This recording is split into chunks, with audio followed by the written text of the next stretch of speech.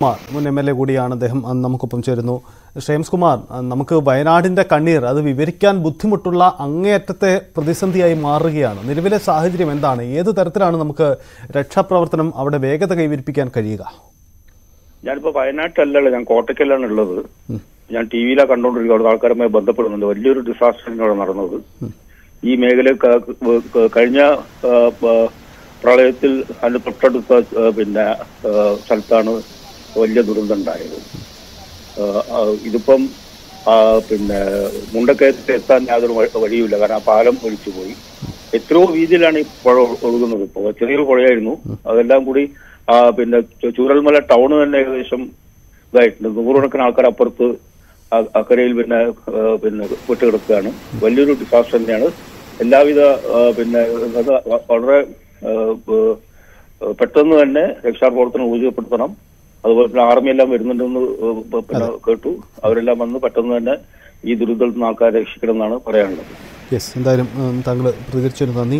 ആ തരത്തിലാണ് വയനാടിന്റെ തേങ്ങൽ ഇരുപത്തിനാല് മരണമാണ് ഔദ്യോഗികമായി സ്ഥിരീകരിക്കപ്പെടുന്നത്. ഇരുപത്തിനാല് മരണം എന്നതാണ് ഏറ്റവും ഒടുവിലായി വരുന്ന വാർത്ത. അങ്ങനെയെങ്കിൽ നമ്മൾ പ്രതീക്ഷിക്കുന്നതിനും വലിയ ദുരന്തമായി വയനാടിന്റെ ദുരന്തം മാറുന്നു എന്നതാണ്. ഒരു അപ്ഡേറ്റ് കൂടി പുറത്തു വരുന്നുണ്ട്. അത് സൈന്യത്തിന്റെ മൂവ്മെന്റുമായി ബന്ധപ്പെട്ടാണ്. മദ്രാസിൽ നിന്നുള്ള കരസേനയുടെ one twenty T infantry battalion move ചെയ്യപ്പെട്ട് കഴിഞ്ഞു. അവർ വേഗത്തിൽ മൂവ് ചെയ്യുകയാണ്.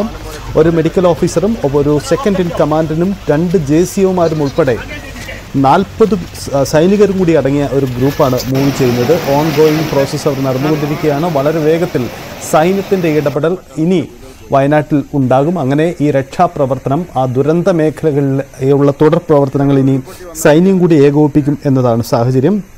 മുഖ്യമന്ത്രി ഈ പ്രവർത്തനങ്ങൾ ഏകോപിപ്പിക്കാനുള്ള തിരക്കിട്ട നീക്കം നടക്കുന്നുണ്ട്. മുഖ്യമന്ത്രിയുടെ ഓഫീസിലെ പ്രത്യേക ഓഫീസർ ഡോക്ടർ എസ് കാർത്തികേയനെ ഇതിനുവേണ്ടി പ്രത്യേക ചുമതലപ്പെടുത്തിയിട്ടുണ്ട്. മുഖ്യമന്ത്രിയുടെ ഓഫീസ് കേന്ദ്രീകരിച്ചും കോർഡിനേഷൻ പ്രവർത്തനങ്ങൾ നടക്കും.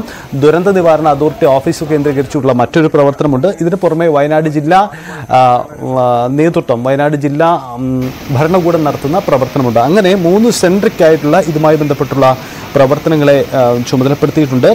ഒപ്പം തദ്ദേശ പ്രിൻസിപ്പൽ സെക്രട്ടറി പ്രിൻസിപ്പൽ ഡയറക്ടർ തദ്ദേശ വകുപ്പ് പ്രിൻസിപ്പൽ ഡയറക്ടർ വി സാംബശിവ റാവുവിനെ കൂടി ഇതിനുവേണ്ടി നിയോഗിച്ചിട്ടുണ്ട്. അദ്ദേഹം വയനാട് ക്യാമ്പ് ചെയ്ത് രക്ഷാപ്രവർത്തനം ഏകോപിപ്പിക്കും. ഇതാണ് ഇപ്പോൾ ഉണ്ടായിരിക്കുന്ന നിലപാടുകൾ.